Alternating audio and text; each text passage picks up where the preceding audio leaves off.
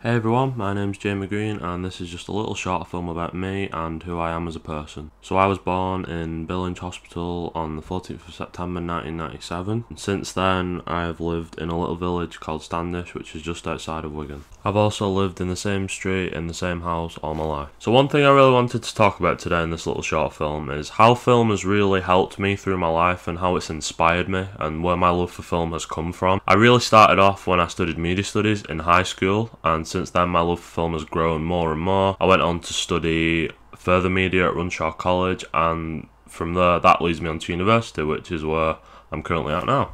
I'll personally say the series of films that have inspired me the most are the Scream franchise, which there's four of them, especially the fourth one, because that was really the first horror movie I ever saw, and I, that's when I really fell in love with the horror genre and why I've loved it as much as I have to, the, to this day. I'm also a really big fan of the NFL, or the National Football League as it's most commonly known as. I've been a really big fan of the sport for about three years now. I've been to three games that have been held in the UK, and my favourite two teams in the sport are the New England Patriots and the Los Angeles Rams.